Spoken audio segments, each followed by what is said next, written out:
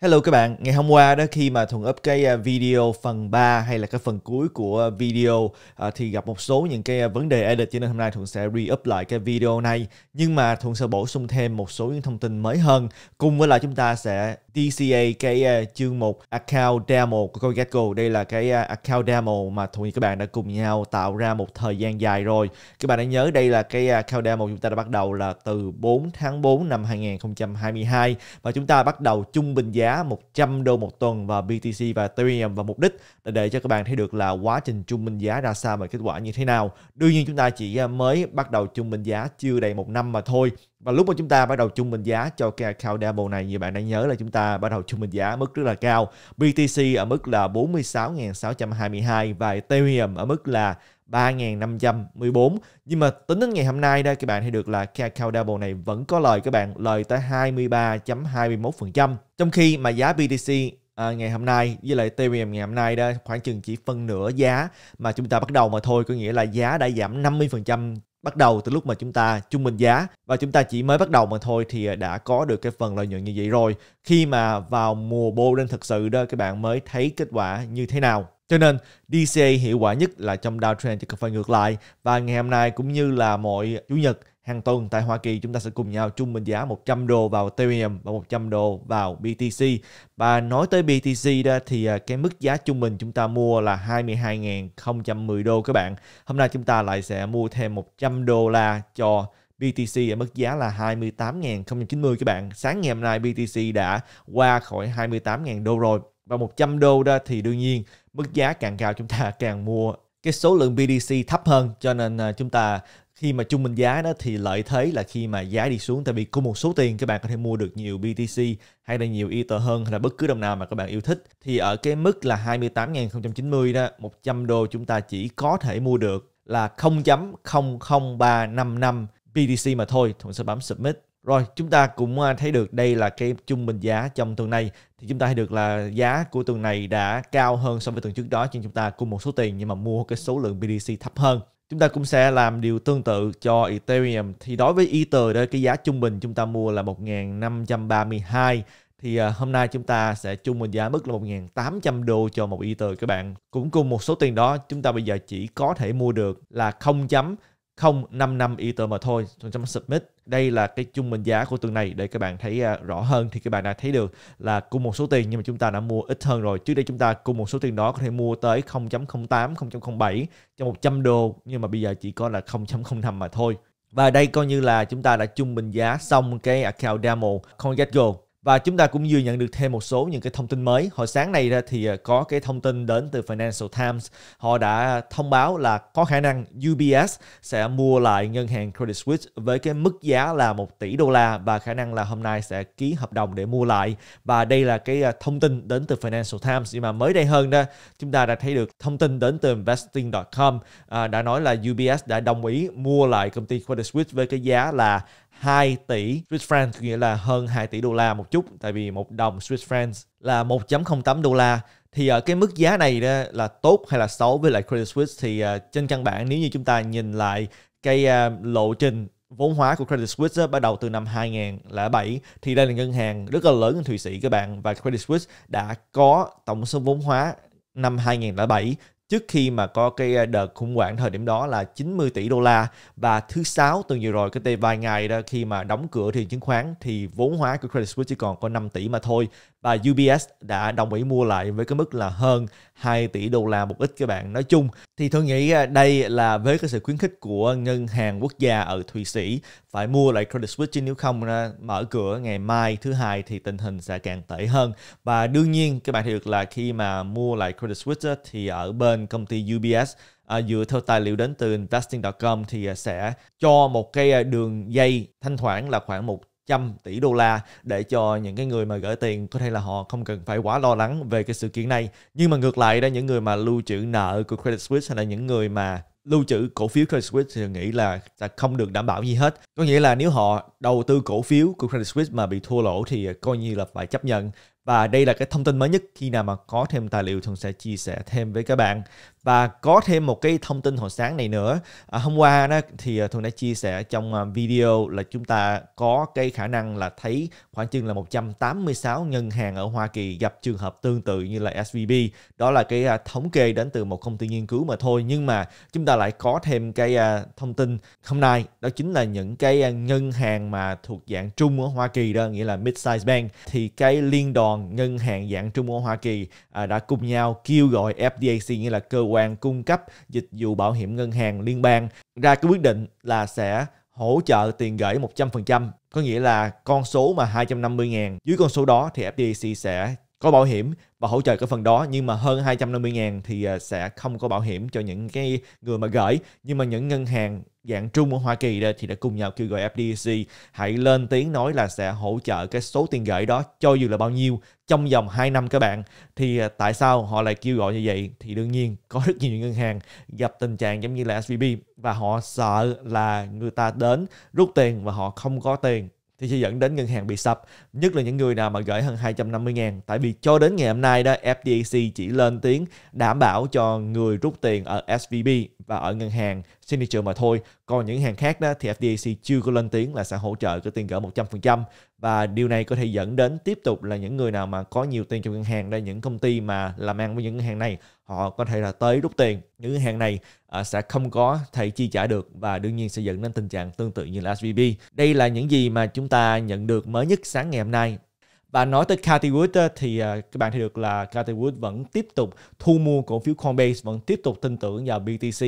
Chi tiết hơn đó là Cathy Wood à, đã gây dựng thêm à, một cái quỹ đầu tư. Thật ra quỹ đầu tư này là chia làm hai, một quỹ là cho Hoa Kỳ, một quỹ là cho Cayman Island à, và tổng cộng đã kêu gọi được thêm 16 triệu đô la cho hai quỹ này. Chi tiết hơn chúng ta có 7.2 triệu đô la đến từ chính nhà đầu tư cho cái quỹ uh, US Fund này và chúng ta có gần như là 9 triệu còn lại là đến từ một nhà đầu tư mà thôi cho cái quỹ ở Cayman Islands. Thêm vào đó gần đây thì à, uh, ARK Invest đã thu mua thêm 301.437 cổ phần của Coinbase. Uh, ở cái uh, giá thời điểm hiện tại là khoảng 20 triệu. Cathy Wood vẫn tiếp tục và tiếp tục thu mua các bạn. Không cần biết chuyện gì xảy ra, Cathy Wood vẫn tiếp tục thu mua. Homebase ở thời điểm hiện tại. Và một người nữa cũng không trùng bước, đó chính là Michael Saylor các bạn. Nhưng mà gần đây thì à, chúng ta không nghe nói tới Michael Saylor đi thu mua nữa. Chúng ta chỉ biết là hiện bây giờ thì tổng thống của Salvador là Nayib Bukele thì vẫn đang thu mua một BTC mỗi ngày. Và đương nhiên, lúc đó là lúc mười mấy ngàn đô, Bây giờ BTC đã lên tới 27 ngàn đô rồi các bạn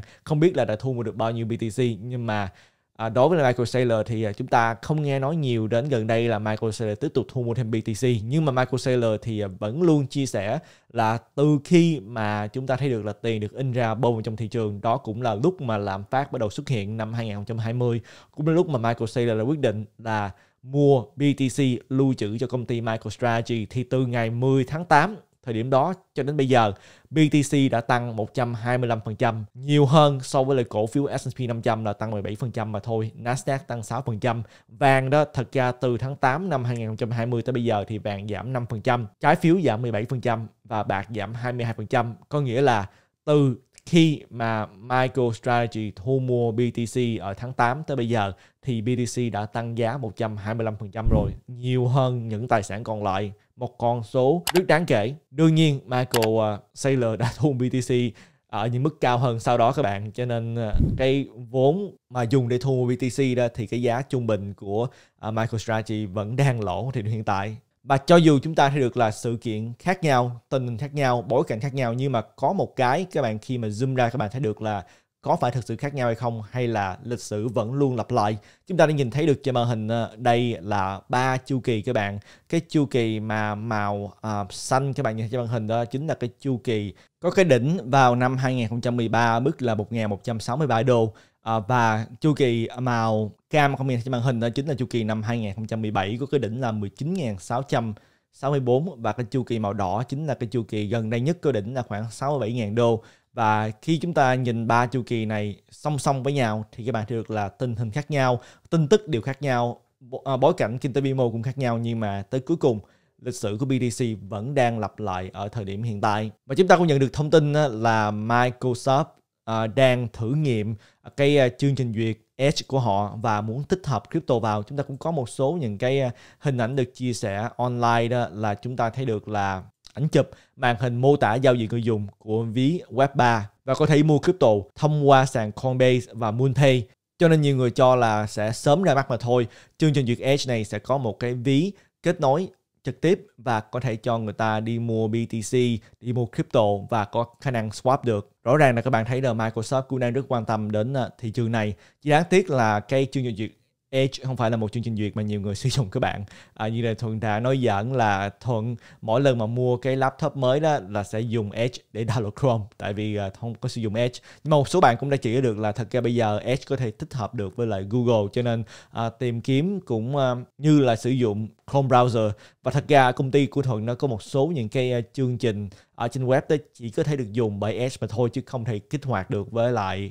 Chrome. Không biết tại sao nữa các bạn nhưng mà có một số chương trình chỉ có thể sử dụng uh, Internet Explorer trước đây hay là Edge bây giờ nhưng mà nếu như mà Microsoft đi vào xu hướng này thì khả năng là Google cũng sẽ đi về xu hướng này mà thôi. Đó là cái hy vọng của Thuận. Thị trường crypto vẫn đang được chấp nhận bởi những công ty lớn. Và chúng ta cũng có cái thông tin đến từ sàn mà Binance các bạn thông báo đó là sàn Binance các bạn nên nhớ là đã nhận được à, một lá thư đến từ Quốc hội Hoa Kỳ đòi hỏi một số những cái à, giấy tờ từ sàn Binance và sàn Binance cũng đã nạp giấy tờ đó cho quốc hội của Hoa Kỳ à, nhưng mà theo ờ, thông tin ờ, thì ờ, giấy tờ đó không có kèm theo tài liệu liên quan tới tài chính của sàn Binance mà chỉ gửi tới một số những cái giấy tờ liên quan tới quản lý rủi ro và à, chống rửa tiền của sàn Binance mà thôi. Và theo thông hiểu đó là trong cái văn bản 14 tờ được chia sẻ bởi sàn Binance xuất hồi của Hoa Kỳ à, thì cũng đã nói là những ngày đầu tiên đó cũng như là tất cả các sàn thì à, sàn Binance cũng đã không có cái chiến dịch chống rửa tiền hay là có chiến dịch KYC hiệu quả cho nên những ngày đầu tiên đó thì đương nhiên sẽ gặp nhiều lỗi lầm. Nhưng mà từ đó tới bây giờ đó thì sàn Binance cũng đã có nhiều cải tiến à, để có thể KYC và có nhiều cái chiến lược chống rửa tiền hiệu quả trên sàn Binance. Chúng ta sẽ tiếp tục chờ đợi xem coi là Quốc hội Hoa Kỳ có hài lòng với lại những văn bản được chia sẻ bởi sàn Binance là không chúng ta chỉ biết được là họ đã nạp giấy tờ rồi theo yêu cầu của chính phủ Hoa Kỳ. Và sàn Binance cũng đã ra thông báo đó là Binance đã hoán đổi tất cả số BUSD trong quỹ tài sản an toàn cho người dùng nghĩa là cái quỹ SAFU sang TUSD và USDT.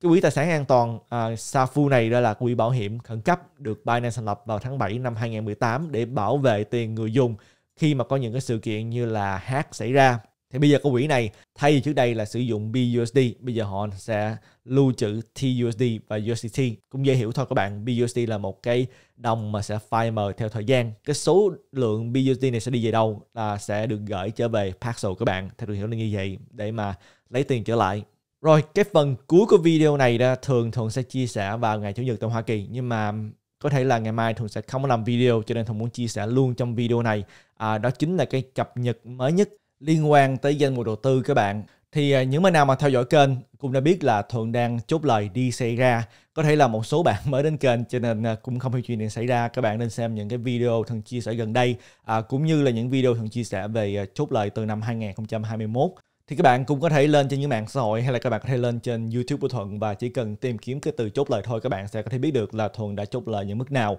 Giống như năm 2021 như bạn đã biết là Thuận uh, đã chốt lời uh, từ những cái thời điểm như là 30 ngàn, 40 ngàn, 50 ngàn, 60 ngàn cho nên ờ, mới có thể trả off nhà, mới có thể có một cái số lượng tiền mặt để có thể uh, trung bình giá trong vòng năm qua. À, Thuận sẽ không có chia sẻ chi tiết tại vì những bạn nào muốn biết thì có thể là xem những video đó và tại sao Thuận lại chốt lại bây giờ thì các bạn cũng nên xem video à, cách đây vài ngày Thuận chia sẻ về USDC thì các bạn sẽ hiểu. Và những bạn nào mà theo dõi kênh thường xuyên thì uh, cũng đã biết những thông tin đó rồi thì ờ, chúng ta sẽ nhìn vào hiện bây giờ danh mục ờ, đầu tư của Thuận ra sao sau khi mà Thuận bắt đầu ờ, chốt lời trong vòng khoảng chừng 6 ngày qua. Thì các bạn được là phần trăm của BTC trong danh mục crypto của Thuận bây giờ là 72.15% sẽ có một số bạn thắc mắc là tại sao mà cái phần trăm BTC cách đây một tuần là 70.74 thì sau khi Thuận chốt lời BTC lại tăng lên 72.15% thì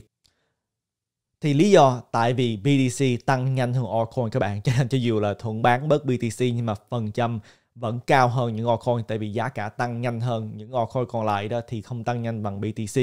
Ethereum thì uh, đang ở mức là 16.95 là đồng lớn thứ nhì thuận uh, lưu trữ và cũng là đồng lớn thứ nhì thuận lưu trữ một thời gian dài rồi. Các bạn có biết lập tin của thuận đối với Ether ra sao trong vòng 6 7 năm qua. BNB uh, à, ở mức là 6.6%, đồng lớn thứ ba, Cardano 2.1%, Kế đó chúng ta có XRP 0.6%, chúng ta có Matic 0.6%, Doge 0.6%, Solana 0.1% và chúng ta có một số đồng nhỏ khác không đáng kể ở mức là 0.06%. Đây là cái kết cấu danh mục crypto của Thuận và chúng ta có thể nhìn thấy được là cái à, kết cấu tổng tài sản của Thuận như thế nào. Thì tới thì đến bây giờ đã chúng ta được là Thuận đã có thêm một số tiền mặt tại vì à, Thuận đang chốt lời cho nên tiền mặt ở mức là 8%. Cách đây à, khoảng chừng gần như 3 tuần đó thì tới 27% tiền mặt rồi các bạn. Thì đương nhiên Thuận đã dùng hết USDC mua BTC thời điểm cách đây hơn một tuần. À, cho nên chúng ta mới thấy được là phần trăm nó giảm xuống như vậy. Nhưng mà Thuận vẫn đang à, bán bớt để mà tích tụ thêm tiền mặt ở điểm hiện tại để mà cân bằng lại với một đầu tư. À, crypto đó thì à, hiện bây giờ đang chiếm phần trăm rất lớn các bạn từ 60.8% mà lên 65% tại vì sao? Tại vì giá crypto đang tăng trưởng. Thường thường không thích lưu trữ nhiều phần trăm crypto gì đâu, nhưng mà bây giờ là tình hình nó dẫn đến như thế này. Nhưng mà đó cũng lý do sao mà thuận đang chốt lời để mà cân bằng lại danh mục đầu tư chứ không phải là thuận nghĩ là giá sẽ đi xuống cổ phiếu thì mức là 3.5% và những mà nào mà con thú thì à, trên màn hình đây là những cổ phiếu mà thường đang lưu trữ. Tại vì nhiều bạn hỏi quá cho nên mới để mà thôi chứ còn thật ra kênh này thường cũng không có chú tâm à, nói tới đầu tư cổ phiếu và các tài sản khác. Trong đó chúng ta có bất động sản hợp đồng đầu tư vân vân thì à, khoảng chừng 23.1% và đây là cái kết cấu mới nhất thường muốn chia sẻ để các bạn theo dõi nhất là trong cái à, tình hình mà giá cả à, tăng trưởng hay là giảm nhanh như thế này. Và đây là danh mục update hàng tuần Thuận chia sẻ để các bạn theo dõi quá trình đầu tư để các bạn hiểu được từ khi nào Thuận trung bình giá, khi nào mà Thuận chốt lời. Chứ nếu như không đó, tới lúc mà giá tăng Thuận nói là chốt lời thì các bạn à, sẽ thấy không hợp lý tại vì Thuận đâu có chia sẻ khi nào mua đâu. Cho nên đây là một trong những cái update mà Thuận muốn cung cấp để các bạn có thể theo dõi quá trình đầu tư của Thuận để có thêm một tài liệu dùng để tham khảo mà thôi. Không phải là lời khuyên đầu tư vì mỗi người có mọi vị thế, thời gian và nhu cầu đầu tư khác nhau. Và ở trong thì crypto này đó Thuận luôn theo một số quy định thường đặt ra cho bản thân của mình. Những quy định mà thường đã chia sẻ nhiều lần với các bạn và thường cố gắng tiếp tục chia sẻ. Tại vì à, thường cảm thấy được là những quy định này có thể giúp đỡ được cho nhiều bạn, nhất là những bạn mới đến kênh. Thứ nhất là đừng tin ai hết, các bạn chỉ nên tin bản thân của mình mà thôi. À, có rất nhiều người có thể là họ thật sự muốn giúp đỡ các bạn nhưng mà vì một lý do nào đó họ đã phán đoán sai cho nên các bạn tin họ thì các bạn cũng sẽ dẫn đến là bị thua lỗ hay là đưa đến những quyết định mà không có hiệu quả Kế đó là các bạn nên tự tìm hiểu các bạn trong thị trường này các bạn nên tự tìm hiểu nên nắm bắt thông tin thì các bạn mới có thể đưa ra những cái quyết định chính xác hơn. Từ dự crypto, các bạn không từ dự crypto đó thì các bạn sẽ biết được chuyện gì xảy ra. Các bạn thì được là những cái à, sự kiện năm ngoái liên quan tới BlockFi, Voyager, Celsius là những cái sự kiện vẫn còn sần sần ở đó. Tại sao chúng ta nên lưu trữ crypto thì nghĩa là chúng ta cũng không cần phải bàn nhiều rồi. Nhớ chút lời, các bạn không chút lời, người khác sẽ chút lời dùm các bạn. Phân bổ vốn là điều rất là cần thiết đối với thuận. Tại vì phân bổ vốn sẽ giúp đỡ cho thuận quản lý được rủi ro, không vay mượn các bạn. Trong cái thị trường đầu tư này đó, đầu tư crypto đã căng thẳng rồi. Các bạn mà vay mượn đầu tư thì lại sẽ càng căng thẳng hơn nữa và sẽ dẫn đến các bạn đưa ra những cái quyết định sai lầm. Và zoom out đầu tư dài hạn luôn là tiêu chỉ của kênh này. Đây là những gì mà thuận muốn chia sẻ với các bạn